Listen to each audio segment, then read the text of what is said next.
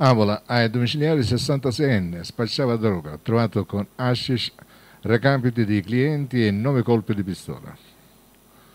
Già agli arresti domiciliari continuava a spacciare eh, sostanze stupefacenti. Carabinieri dell'aliquota radiomobile della compagnia Carabinieri di Noto e della stazione di Noto hanno arrestato un 66enne di Avola. I militari, dopo le attività di verifica circa il rispetto della misura cautelare, hanno perquisito l'abitazione dell'uomo, rinvenendo oltre 90 grammi di hashish, circa 25 grammi di sostanza da taglio, un bilancino di precisione materiale per il confezionamento, una contabilità dell'attività delittuosa e appunti con i recapiti dei clienti. La perquisizione è stata successivamente estesa a un veicolo in disuso ma riconducibile all'arrestato e ha consentito di sequestrare anche nove colpi di pistola di cui quattro già esplosi. L'uomo è stato arrestato e sottoposto agli arresti domiciliari a disposizione dell'autorità giudiziaria aretosea.